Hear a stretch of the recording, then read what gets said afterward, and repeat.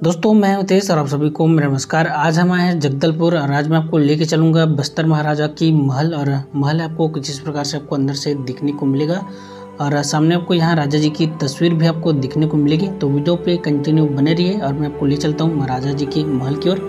सामने आपको एक रथ है दिखाई देगा जहाँ पे महाराजा जी है, बैठते हैं बस्तर दशहरा के उत्सव पे। और यहाँ पे सामने एक गेट है दिखाई देगा। इस गेट को द्वार को सी द्वार है कहा जाता है और इस द्वार के जस्ट सामने आपको बस्तर दंतेश्वरी माता जी की मंदिर आपको दिखने को मिलेगी। तो मंदिर सामने आप देख सकते हैं। और दोस्तों, अभी हम फाइनली पहुँच चुके हैं बस्तर महाराजा का महल है दिखने के लिए। और यहाँ पे आने के लिए आपको परमिशन है, लेना पड़ता है। सामने गेट पे आपको सीआरपीएफ के जवान है दिखने को मिलेंगे, जहाँ पे आपको नाम पता है और कितने लोग यहाँ पे आए हुए हैं, उनका डिटेल है आपको देना पड़ता है। तो सामने आपको दिखेगा बस्तर महाराजा जी का महल है और इसका जो निर्माण है, महाराजा प्रवीण चंद्र भंसदेव ने कराया था और राइट साइड आपको काफ़ी बड़ा मैदान है, दिखेगा जहाँ पे मेला वगैरह लगता है। और सामने आप देख सकते हैं तो ये है बस्तर महाराजा का महल, जिनका निर्माण है महाराजा प्रवीण चंद्र भंसदेव ने कराया था। चलिए दोस्तों, मैं आपको महल की ओर लेके चलता हूँ। साथ ही साथ आपको सारी चीज़ें मैं आपको बताने की कोशिश करता हूँ। यह जो महल है, एक सौ अड़तीस साल पुराना महल है। इस महल का जो निर्माण है 1890 में महाराजा प्रवीण चंद्र भंसदेव ने कराया था। यहाँ आपको 50 से अधिक कमरे हैं बड़े बड़े कमरे हैं, दिखने को मिलेंगे। दरबार हाल है, दिखने को मिलेंगे और तीन सभागार है आपको देखने को मिलेंगे। और इधर राइट साइड आपको, यहाँ पे आपको, मुख्य द्वार के सामने आपको गार्डन भी आपको दिखने को मिलेगा, जिसको आपको मैं लास्ट में आपको दिखाऊँगा। और महल आपको, कुछ इस प्रकार से आपको देखने को मिलेगा। महल भी अभी भी काफ़ी हद तक सुरक्षित है, दिखने को मिलेगा।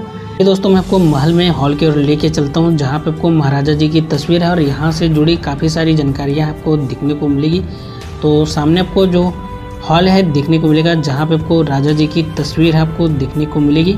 तो हॉल है आपको कुछ इस प्रकार से आपको दिखने को मिलेगा, जहाँ पे आपको यहाँ आने से आपको काफ़ी सारी जुड़ी जानकारी वगैरह है दिखने को मिलेगी। यहाँ पे जितने सारे राजाओं ने शासन किया था, उनकी सारी फ़ोटो है, सारी डिटेल वगैरह है, यहाँ पे सारी चीज़ें आपको देखने को मिलेगी।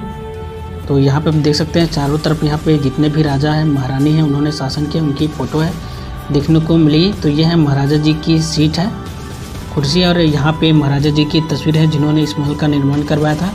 महाराजा प्रवीण चंद्र भसदेव जी और ये है यहाँ के भी वर्तमान राजा। और इस साइड है जो पुराने महाराजा वगैरह हैं, उनकी तस्वीर वगैरह है, देखने को मिलेगी। यहाँ के शासनकाल के बारे में बातें करें तो अठारह सौ इक्यानवे से लेकर उन्नीस सौ इक्कीस तक है महाराजा रुद्र प्रताप देव जी हैं। उनकी पत्नी कुसुमलता देवी जी ने शासन किया, साथ ही साथ महारानी चंद्र देवी कुमारी जी ने भी शासन किया।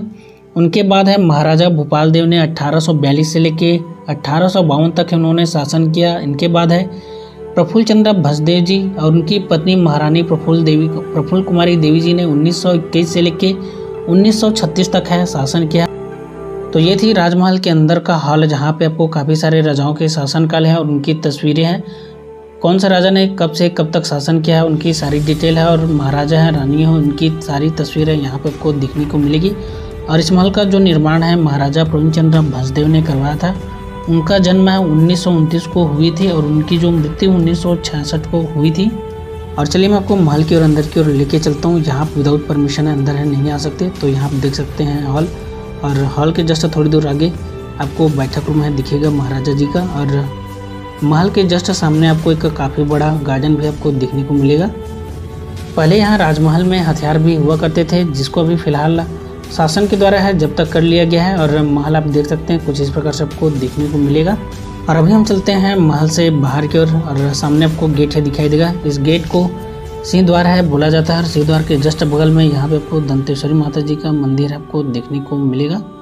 और आज के इस वीडियो में बस इतना ही। वीडियो अच्छा लगे तो वीडियो को लाइक करें शेयर करें सब्सक्राइब करें। तब तक के लिए बने रहें। जय हिंद, जय भारत, जय छत्तीसगढ़।